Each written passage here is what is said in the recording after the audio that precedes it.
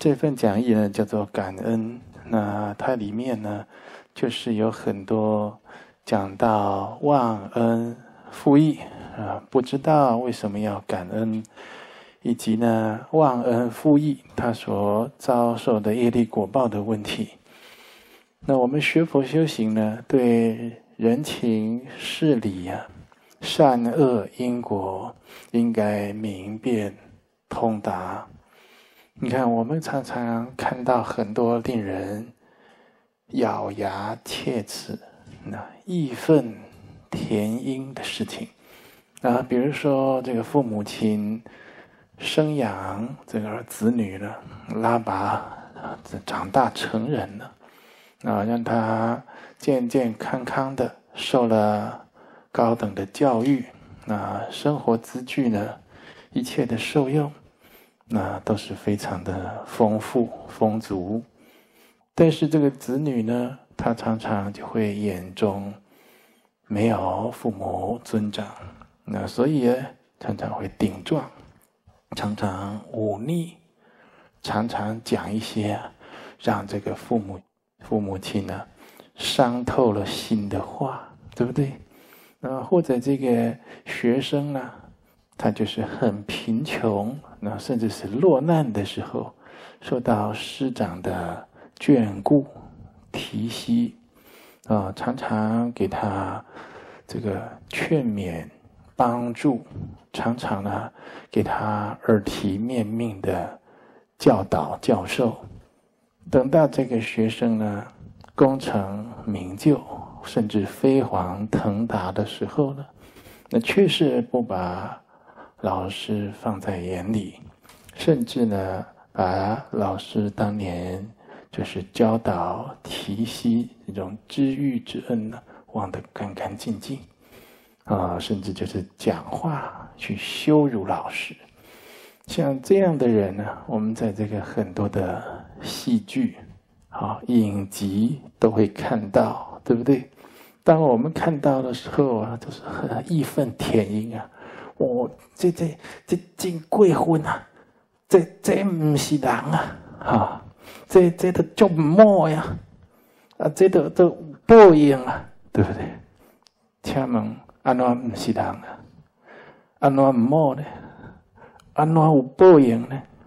你讲不出来，那就是因为你对这些业因果报了，他不是非常了解。是安怎跟他讲声赶快呢？因为人和畜生啊，都是有差别的。好，我现在列举以下的例子呢，来跟各位探讨。第一个故事呢。在这个《阅微草堂笔记》啊，这个是纪晓岚先生啊，清朝清朝的这个大学士啊，他做的这个《阅微草堂笔记》这本书呢，它记载了很多因果业报的公案。这个《阅微草堂笔记》呢，有两则负恩受报的故事，就是忘恩负义，然后受到报应的故事了。啊，第一就是这个。浙江省有一位读书人呢，晚上他睡觉，梦到进入了一个官府中啊。那进到这个官府，看着官府上面堂上的匾额，就知道哦，城隍庙。啊，就是让同学，我们大概就是虽然不是每一位啊都很了解城隍，对不对？啊，我们常常都听到土地城隍啊，就是应知道他们就是。是神呐，神明，这个城城隍呢，就是每一个地区都有专职执掌啊，该地区的这个赏善罚恶啊，或者是记录他们的种种行为的城隍。那一看，这个是城隍庙旁边就有一个名利，名利就是在。在这个幽冥啊，在地府啊，啊，那我们现在是什么样？是在官府啊，对不对？在政府啊，啊，在立法院呢，哈，在行政院，那在民间就是在民府了，对不对？所以这人道有人道的职位，鬼道有鬼道的职司。呃，这个名利就看就告诉他了。你说现在啊，为什么会找你来呢？因为有一位先生来向城隍爷控告，说什么呢？说这先生有一个朋友做人忘恩负义。那为了来查这件事情是不是真的呢？那这城隍爷就说：“这你你告你朋友忘恩负义是不是真的？”那这个他这个先生呢，就要求城隍呢传啊这个这个读书人呢来作证。所以这个读书人晚上做梦的时候就被传到城隍的这个厅堂上了去作证。他说：“现在，请你想想看啊，是不是真有此事？”这个名利就问这个读书人了，读书人就回忆，就想起来哦，这个事情是真的。不久啊，城隍就升座了，城隍爷升座，在他旁边的名利呢，就跟他报告了啊，某某人控告自己的朋友啊忘恩负义，现在证人已经传到了。啊，请都城隍爷勘断呢，那是判案。嗯，都城隍爷就将这个读书人啊，听了这读书人讲的话，然后就跟这个读书人，因为你把读书人传来做证人，证明是不是有这个事情，要查案要查清楚啊，对不对？啊，然后当然也要跟他讲一下，然后说证明这事情是真的，也要跟他说明。这个原委，那都城隍爷就讲了：那世间上这些人忘恩负义，平常呢就是要赢求自己的私利，自己有好处有利益，然后就拼命的去追求，得到可以升官晋级的机会啊，就会成群结党啊，他就互相有利益的就结为一党。然后这个不是政府这样而已啊，对不对？啊，你看这个现在来当个委员，当个立法委员啊，大家就是看怎么样，就是会去结交跟自己有帮助的人。那现在就是小到有社区的管理委员会，同学你住家里有公寓也有管理委员会，对不对？它里面也会结党啊，因为社区里面也有那个社区的小利益啊。是不是有利益，他就会这样成群结党，附和自己的人就喜欢。所以这个，我这个常常跟同学讲啊，我们这现在的世间人啊，是非不变啊，就是这个道理啦，就是连伦场都颠倒，是非不变，善恶不明，那自然呢就会没有理智。就丧失掉很多的福德，所以与自己意见如果相冲突、相左，就排斥啊，就会讨厌自己喜欢的呢，就会说他很好，他是好人啊；自己厌恶的，就说他是坏人。他说：“你不要做这样的人这些都是城隍爷在教这个读书人，他在审案、在判案的这个依据。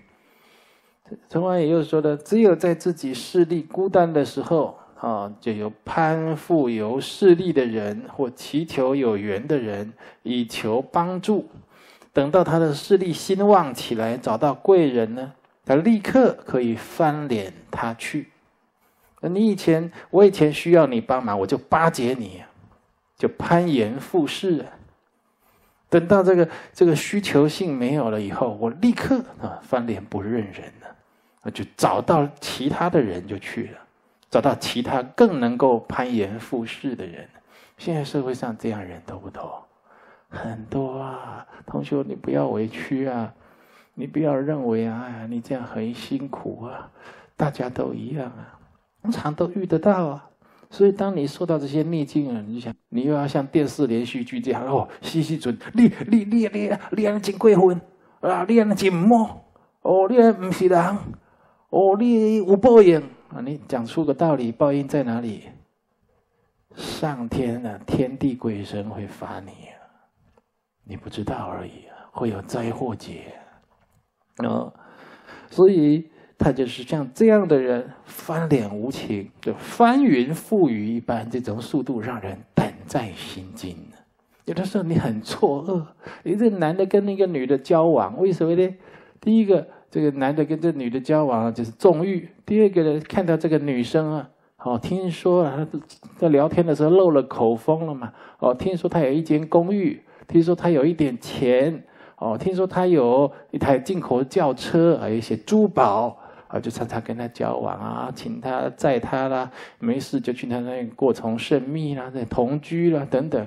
等等这个女的，就是被他的榨干了以后，钱也花完了哈，就觉得厌烦了，一脚踢开，另外又去找别人啊，像这个那拿他没办法，反正这个社会是什么恋爱自由，是不是？那你说你要告他诈欺啊？这告他诈欺，这个这怎么讲假期？那吃饭的时候一起开着车子去吃的。花钱的时候，出国度假的时候，去住旅馆的时候，一起花了钱去，那你就是被骗嘛，世人不清。现在这种人很多，啊你你自己就是要非常的谨慎的啊。这个人跟人在一起啊，有有好处的时候，好话说尽了，非常的大献殷勤啊，博得你的好感。等到这个利益得到了，或者利益渐渐没有了。翻脸不认人，那你觉得这个你管得了他吗？你告他诈欺也告不动，难道你去法院告他什么欺骗感情？对不对？这个要在地府才告得动啊！城隍爷就管了，哦，他就会查你有没有欺欺骗人家感情啊？在这个地球上没有这个法律，对不对？在地府，在冥府有这个法律，这个上天呢有这个天律。啊，所以，这这个人世间呢，老百姓拿你没办法，这鬼神可拿你有办法呀？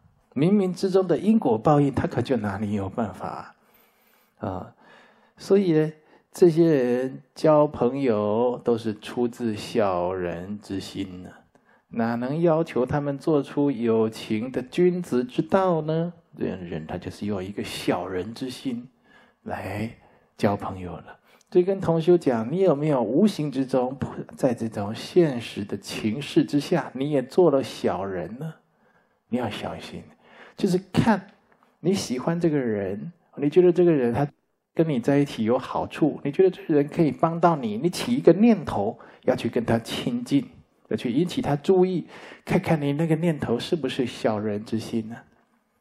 这个动机会带到结果。如果这是一个不好的动机，可能无形当中，你这佛弟子你也做了一个小人了。啊，就陈光爷说，像这种交朋友都是出自小人之心啊。我要跟你交，我就是要探你的钱呀。哦，都是因为我要跟你交，都是你有因为你有土地啊。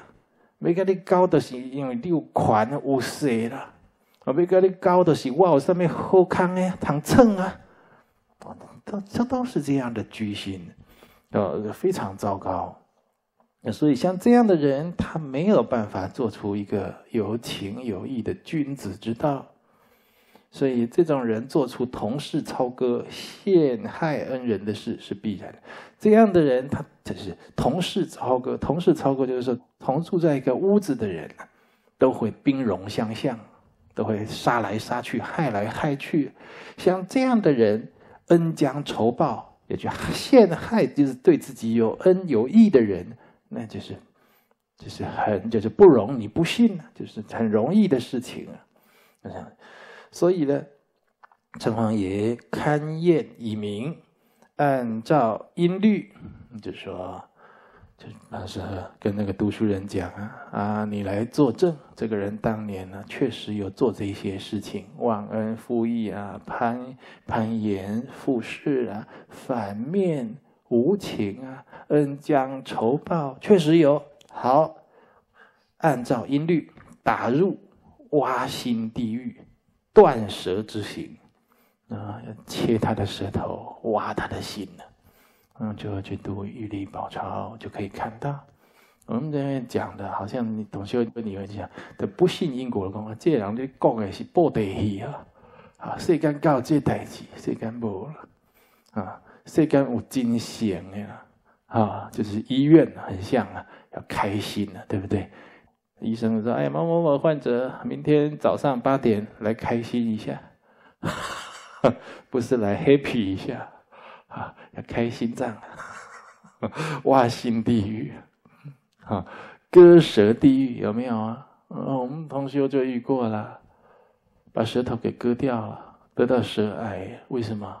一样就是有这个因果业报嘛，舌头把它切掉了，在这个地府啊。”在地狱啊，你在阳间造作这些恶业，都一样一样的会跟你计算，然后看你要去哪一个狱服刑啊。所以接着这个城隍爷他回头对这个读书人讲：这种忘恩负义之人，在阴间他会得到惨重的报应，在阳间也会得忘恩负义的人。来报复，这些呢不是我们鬼神来操作的，那么就是说啊，你这样子做坏事啊，忘恩负义啊，恩将仇报啦，好，人家对你有恩情，你不但没有报啊，给忘得干干净净，反面无情，或者还甚至就是有不仁不义的对待，像这种，他这完全是天理所致，天理循环，报应不爽啊。所谓种瓜得瓜，种豆得豆，本来就是因果相长的自然之理呀！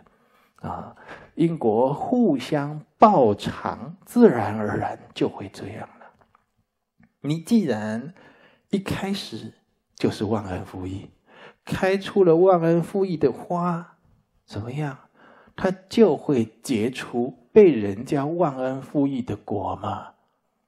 你今天对你有恩情的人，对你的父母亲，对你的师长，对你急难的时候帮助过你的人，你忘得干干净净，翻脸无情，将来人家就是这样对你嘛？为什么？你有那样的因，你就有这样的果嘛？你你以前对人家翻脸无情、忘恩负义、恩将仇报，结果你希望大家就对你好。哦，你你付出了，就希望得到人家的报恩回馈，那怎么可能？啊，你就是没有种这样的善种，你怎么会有这样的善果呢？啊，完全是因果循环啊，数年之后被控告忘恩之人啊，这个读书人就观察，果然得到忘恩之报。他活着的时候会被人家。忘恩，被人家背叛呐，被人家一脚踢开啦，被人家利用榨干了以后啊，哦，就是反脸无情啊，他自己也受到了。死了以后呢，他在阴间会得到惨重的报应。哦，那个阴间的报应呢，就是为什么很多人讲到阴间的报应、地狱的报应，他不是很相信，你知道吗？为什么？因为他没有办法想象，太惨了，他没有办法想象。伊就干嘛讲？还是还可能不是真的，还可能是在吓人啊，还可能是假，对不对？如果是假的，为什么从古代到今天，不管是佛教、道教、基督教，任何宗教，这些人啊，古圣先贤。这些人都没有见过面，也没有讨论过，也没有学术交流过。他们会怎么讲？他们不约而同说有地狱，不约而同说地狱的报应呢？一般人你受不了啊，难以忍受的痛苦。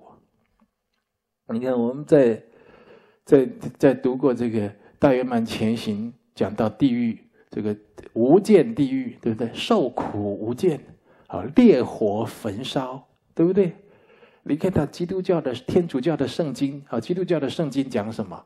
堕入地狱火湖，那烧火跟湖水一样，你就堕进去了。啊，都不约而同讲出地狱的境界，这是真实不虚啊。那佛陀他就是不妄语者啊，真语者、实语者、如语者、不妄语者。那他从来都不讲假话。佛陀亲口宣说地狱实有嘛，确实就存在。很多同学讲，我那地狱很可怕哦，我们要小心，不要要不要这个，万一以后啊，啊，等我们跑到堕到地狱就惨了。我跟你讲，那个以后啊，有的时候很快，可能就是明天，可能就是后天，一往生你就去了。你的你只要有地狱业因，你没有去净除的人，一往生你就去了，很快。呃，所以呃，我们这个同修都有修学和殊胜的法门啊，断灭六道的法门，金刚萨埵的净藏忏罪的法门，啊，净空地狱的忏悔王的教法，对不对？你要赶快修啊，这就是你的免死金牌啊！这就是你的保命符啊！这是你的救命无上法宝，赶快去修这些，净除自己的地狱恶业。那第二个故事呢？呃，就是这个他在讲我的父亲姚安公，个性严峻，家中来往并无无杂无德小人。这个这个作者他讲，他父亲叫做姚安公啊，个性严峻，严峻就是个性比较啊，就是严肃一点，刚直一点，刚正不阿这样啊，来来往往没有那种无杂无德的小人呢。人看人在一起要有良性互动，那你跟我认识，你对这个善善道。对真理，如果没有好要推崇，如果你不是要往这条道路，呃，我就是随喜祝福你。那你要我跟你同行，那办不到。要么就是你跟我同行，同行倒不是说我们走一段人行道这些，不是这个没问，这个没什么问题。同行就是说人生的道路啊，我们是要往佛道、往菩萨道、往解脱道去的。啊，你不是要这样的啊！你在这个世界上啊，可能就是想要享受，哦，想要重个人自己的私欲、私利，有个人自己有很多的梦想、理想，哦，你这个人只想赚钱、吃喝玩乐，哎，你你都惊你了，我的祝福你，希望你赶快回头，我没有办法跟你走同样的路，啊，所以所以人就是你在结交朋友。呃，在跟人家结缘，啊，特别是找这种的人生上啊，人生啊，常常要相伴的人啊，比如说事业伙伴、合伙投资的伙伴啊，同修啊，这个道友、法友、金刚师兄弟啊，要一起共住，你要好好的去拣择啊。那但是呢，话讲回来呀，这讲一这个姚安公啊，这个作者的父亲，他说了，他父亲很严峻，都不会跟一些无杂无德的小人交往啊。有一天，他看到他的父亲跟一个穿着破烂之人在讲话，那很奇怪啊，哎，我父亲竟然跟一个穿的破破烂烂的人在讲话，而且看到他们兄弟两个人呢，就叫了，哎，过来过来，跟这个人行礼。跟这个穿的破破烂烂的囝类啊，跟他相见的以礼相待啊，就是很重视嘛，对不对？把自己小孩叫过来跟这个人行礼，就是要正式的相见的嘛，对不对？那他他的父亲姚安公就说：“这个人叫这个人是宋曼珠的曾孙呢，他们的这个家族啊，已经很久都失去联系了，到现在。”才遇到这个家族宋曼珠这个家族的曾孙，就是穿的破破烂烂的这个人。在明朝末年，兵荒马乱，你的曾祖父那时候只有十一岁，到处流浪，幸好就是仰赖宋曼珠的接济，才得以存活下来。这跟他是这样教这个作者。你们的曾祖父十一岁的时候得到这个人，啊，就是得到这个人的是爷爷的父亲呢，得到他接济，这么久都记得就对了。这个就是不忘恩呢，啊，这这不敢或忘，就是受人家的恩情就记起来了。你受人家的这个欺负了、吃亏了啊，这些这些仇恨倒是可以忘记了，对不对？受人家恩情，你就像这样，一定要报恩。然后呢，他父亲就是看着对这个破破烂烂的人，这个宋曼主就是恩公的曾孙，就讲了，这个人呢，就把他留下来，尽力为此人谋生计啊，想办法帮他找工作啊啊，这要要生活嘛，对不对？而且借这件事情告诫他们兄弟说：有恩必报。不必谈什么因果了。我们同学学佛修行，就讲这个人生病了，这个人这么穷，这破破烂烂的跟乞丐，还给你看在龙伯的报喜，对不对？哦，看在龙不知道接济别人啊，这么受报应啊，这个人都不关系，不是这样子。他就是乞丐，他有他有这个恶报，但是他是你的恩人呢，或者他是你恩人的子孙呢。对不对？你就是要报恩，其他的因果不要讲。那于你而言，你就是要回报他这个恩情。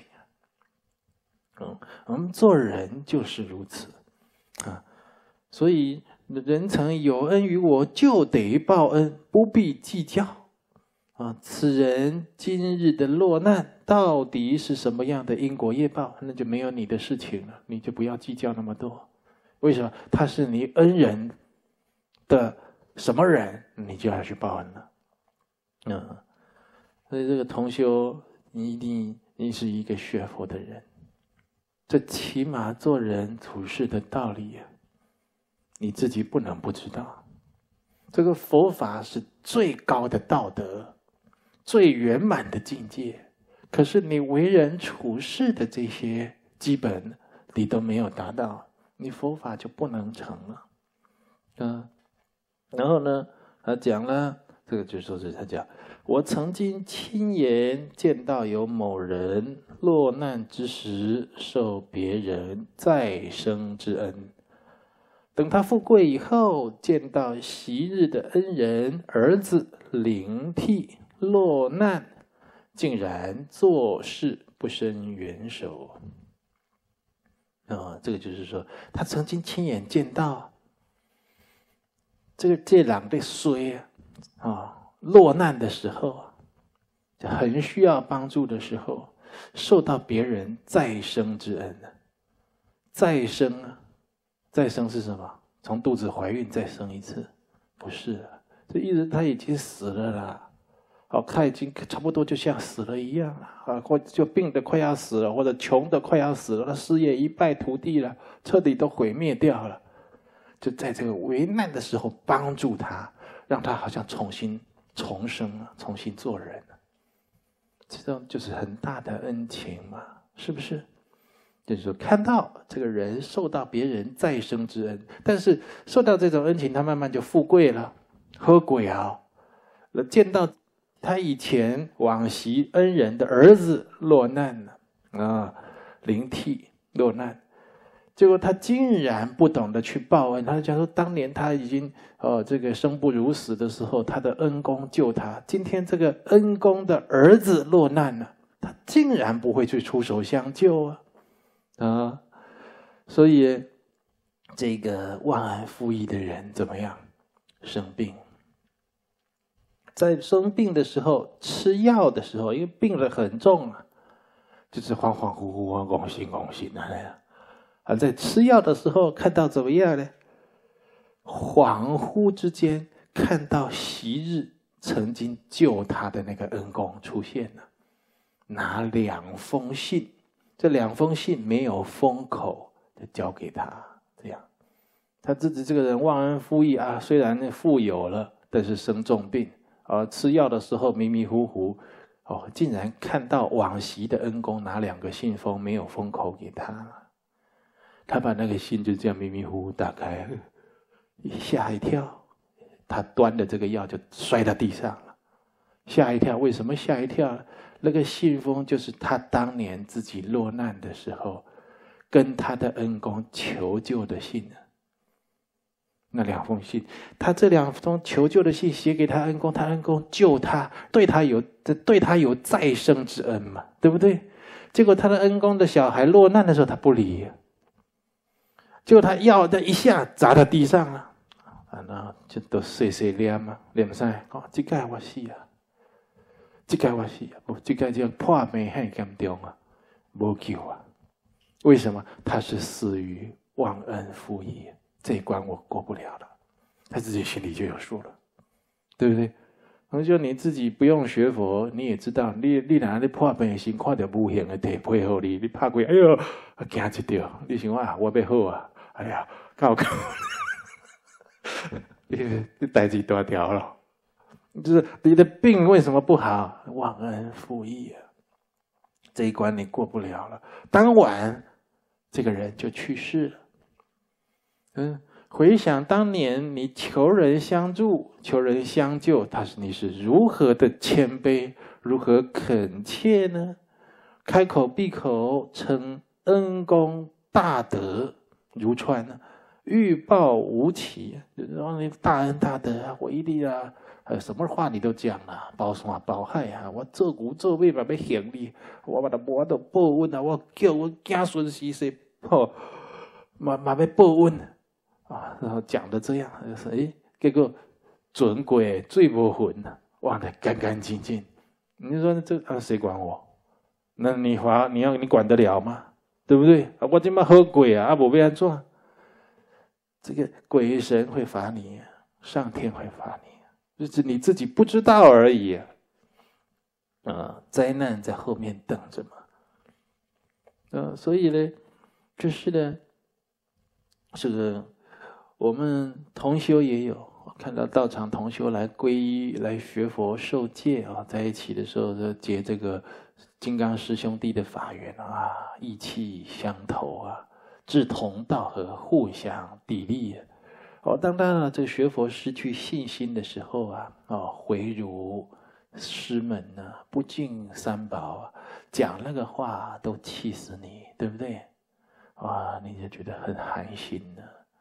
我们也要更替他担心一件事情啊，他做这样的恶业啊，他自己就是。大大小小都会多倍受报，他自己将来会苦不堪言啊！所以你应该就是对他升起这悲悯的心，慈悲他，同情他。哎呀，你你真的是很可悲呀！而且啊，造这种忘恩负义的罪业，原三宝造罪是重嘛，对不对？你原着三宝造罪就重了。嗯，那所以呢？这个就是我们必须要了解的。第三呢，知恩报恩，知德报德，合乎天理啊，天经地义的事情。你能够如此做，必然可得到上天的护佑，福分绵延。这个人家爱有福气，有福报，上天。来束缚，是不是？呃，所以你就是要做一个啊，知恩啊，能够感恩、能够报恩的人呢。啊，因为我们苦难无助、彷徨烦恼的时候呢，得到别人的金钱、力量、言语的相助，就可以逢山开出一条道路，遇水搭上了一座桥梁。对不对？你快要走不下去的时候，苦难无助，哦，彷徨烦恼，和学佛修行的同修怎么样？业力现前，业力现前的时候，业力会控制人呢，哦，颠颠倒倒。这个时候，别人给我们金钱，给我们力量，给我们言语帮助，啊，就让我们过关了，平安无事了。然后呢，你将来怎么样？要怎么样？忘掉就好了，是不是？当然不是。将来你就要去报恩，就要去帮助人家，啊，需要这样帮助。你像我以前的落难的时候，啊，就人家这样帮助我；困难的时候，人家这样帮我。那当然，我们不会想，那帮我们的恩公，你赶快落难吧，让我也帮你回来吧。这样，那当然不行啊。那我们去帮别人，别人需要帮助，我们一样去帮别人。你可能就你都不知道，我以前学佛修行的时候啊，有很多地方啊，啊，就是我蒙受人家的帮助啦，蒙受人家的恩情啦，等等的。所以，感恩报德一方面。可以鼓励施恩之人继续施恩呢。比如说，你今天对我有恩情啊，哦，我在这个修行啊不发心，哦，退道、丧失正念，遇到恶之事的时候，你来跟我讲帮助我，我醒过来，哎呀，好险有你啊！那我就对你啊怎么样？非常感激，常常的回报恩情。那这个帮助过我的人，他会觉得怎么样？受到鼓舞啊！哦，原来助人为快乐之本呢。原来帮助别人这么好啊！他会怎么样？继续去帮别人。那你是不是创造一个美好的社会？大家都在帮忙别人，大家都在帮助别人。那你如果冷酷对待，人家会怎么讲？基本好人拢得做呀，做好人无好结果。对不对？那你是不是造孽？你的孽造重了，所以你不能冰冷冷酷的去对待人家，你让人心受伤、挫折了嘛？呃，所以你鼓励施恩之人继续施恩，鼓励世间人知恩报德，你让天地之间慢慢怎么样，充满祥和。温驯之气，大家都是非常的慈善，大家都要利益别人，哦，大家都是受人家的帮助和利益，都会感恩、感谢、铭记在心的去回报，哦，甚至这个恩人呢，我没有办法直接跟恩人报恩，哦，我我就向向他的家人报恩了，向他的子孙报恩了，等等。你看这个社会变得怎么样？非常有福气。啊，对，本来有灾祸劫都消除掉了，啊，做这样的人，你如果是这样的人，上天当然会降福分给你啊，对不对？有一位古德曾经讲过一段话，讲什么呢？呃，在不用感恩的地方都感恩报恩的人，在该死的时候都不会死啊。比如说，人家曾经你困难的时候借你五万块，对不对？呃，改天换人家有困难，你也借他五万块，在外再加一个五千块，照理好像就回报他了，对不对？可是日后你还是感激那个人，他有困难，你又再去帮他，你有关怀他，哦，你还常常跟他道谢啊。当年要不是你借我五万块啊。我那关真是难过啊！没有，你已经还我五万五了呢，不要放在心上。没有，没有，没有，啊，这五万五是五万块是小事，是当年那个情分呢。哎呀，忘不了，对不对？你如果这样子，就已经不用再去报恩的地方，不用再去感恩的事，你还去感恩报恩呢？有的时候，你该死的时候，你都不会死。本来你这关过不了，都该死啊！呢。你说西不去？为什么？你就是有善报啊！啊，不该得到的福分，本来你没有这个福分可以得到某个利益，你某件好，忽然，哎，就可以得到啊！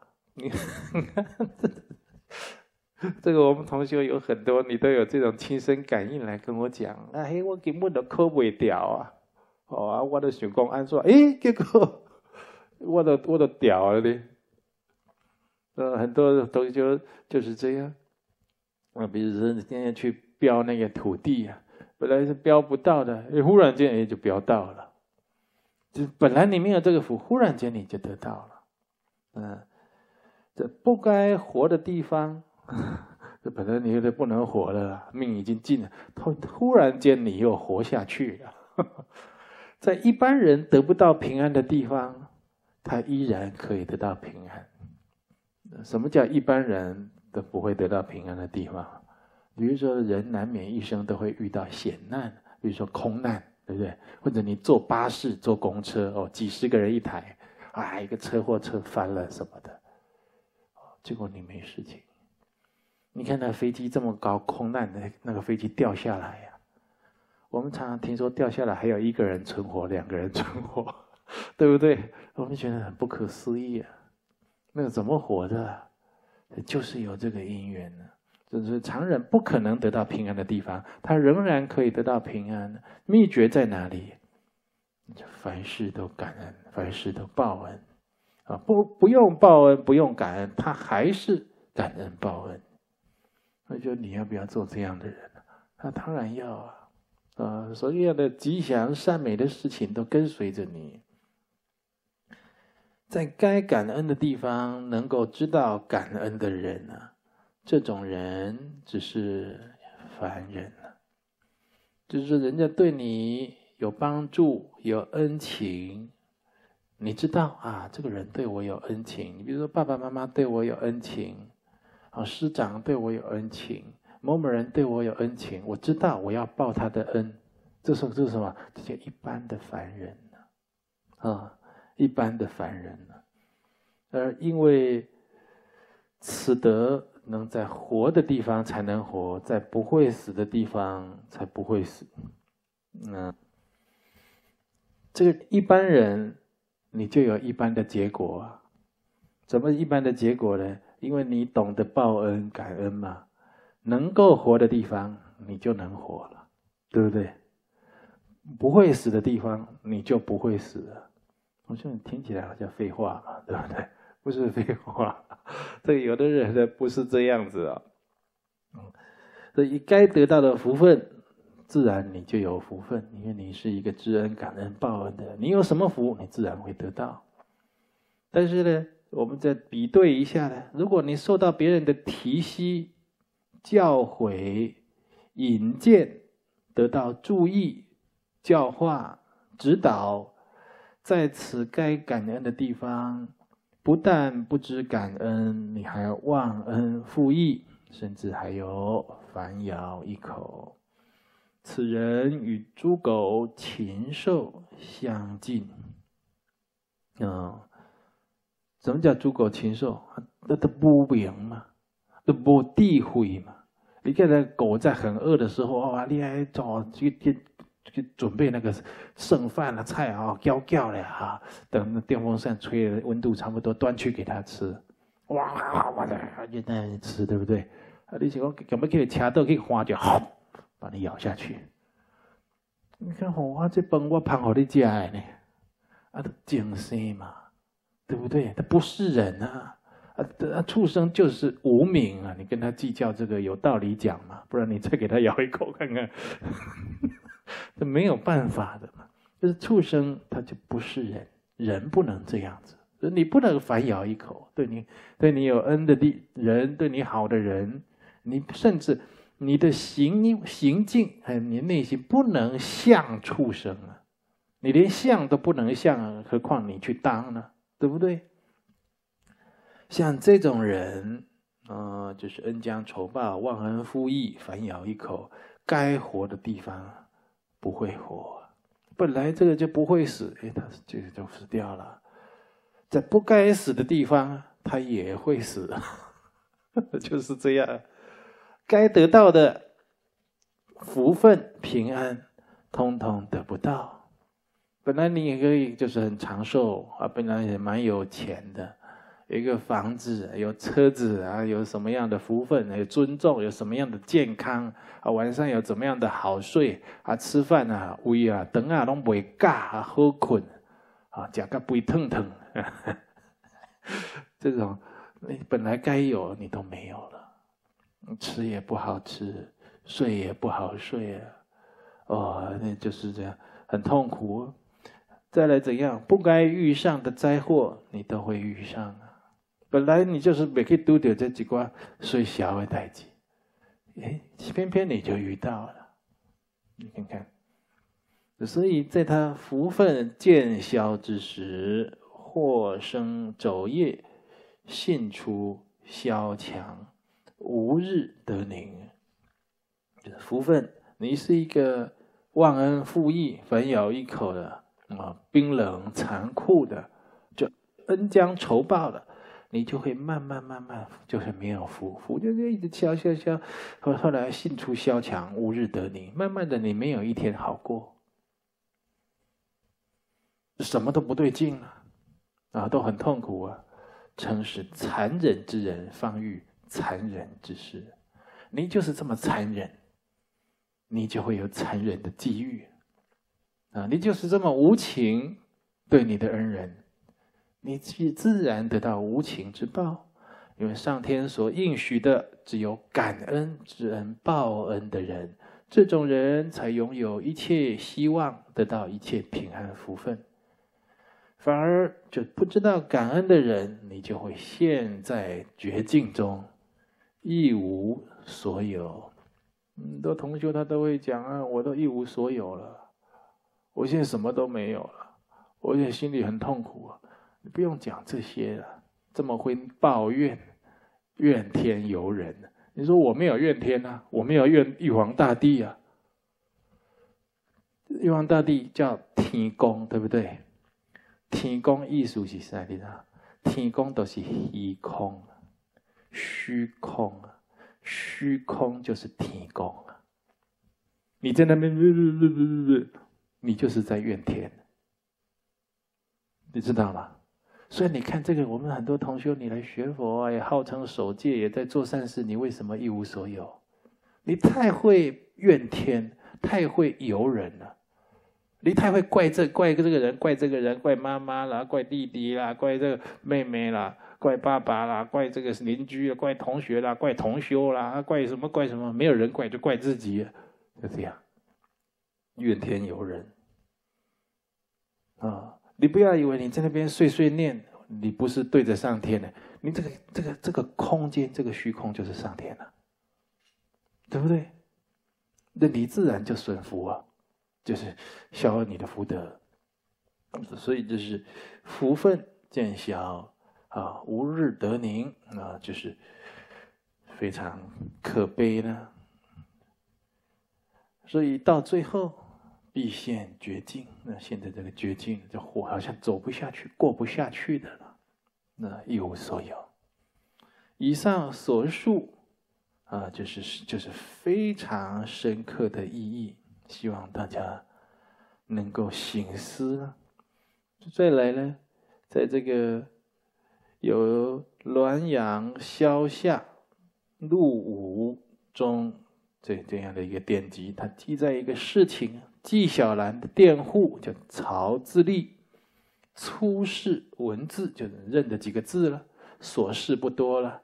有一天，他患染寒疾，他就得到这个风寒了，在昏聩当中被官府的官吏拉走，就他得到这个重感冒，被在迷迷糊糊被一个官府的官吏啊抓走了，拉走了。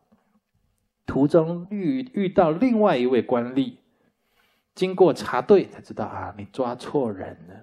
第二位跟第一个人讲哈，第二个官吏跟第一个官吏讲，你两丢狼喽，抓错人了啊，这样啊，啊，所以前一位官吏呢，被后一位官吏责备很久，就就骂他很久，才把这个佃农啊抓错这个感冒的佃农送回去，啊，个美金故送回去的过程。经过一个地方，嗯，这个典籍记载，经过什么地方呢？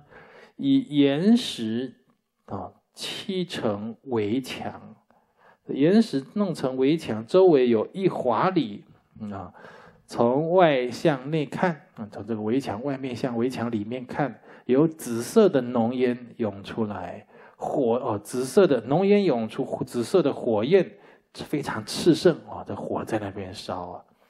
哦，他就觉得很奇怪，他把这个重感冒抓错的人送回去，跟哎，哎，那也可以看点这样，哦，有那个浓烟啊，那紫色的火在那里烧，金鸡怪，他就很恐怖啊！一个看这上面受灾，上面就写六个斗大的字，写“复兴备德之欲”。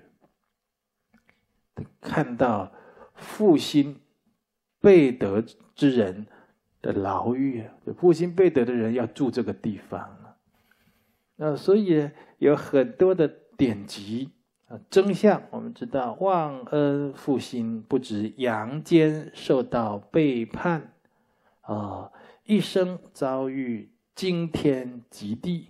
惊天极地是什么？天地，你生活在天地之间嘛，对不对？惊天极地就是说，你好像到处都会遇到荆棘呀，然后都很痛苦啊，荆棘会刺人嘛，对不对？叫惊天极地。啊，就是很难，历经拍鬼啊，经痛苦啊。阴间另有惩戒的火，热蒸烤地狱，都知令人毛骨悚然。啊，就是我们今天来学佛修行，听经闻法，修持大圣菩萨道，自利利他，做人基本的养的一个情操，一个信念呢。不能不知道，我们希望大家彼此互相体恤共勉。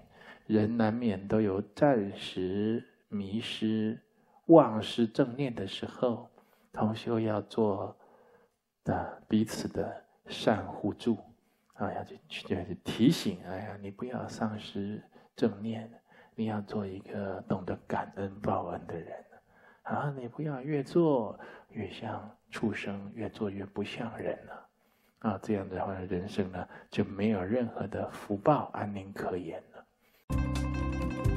立即订阅观音山龙德上师 YouTube，开启小铃铛，就能收到最新龙德上师显密佛法开示与直播课程通知。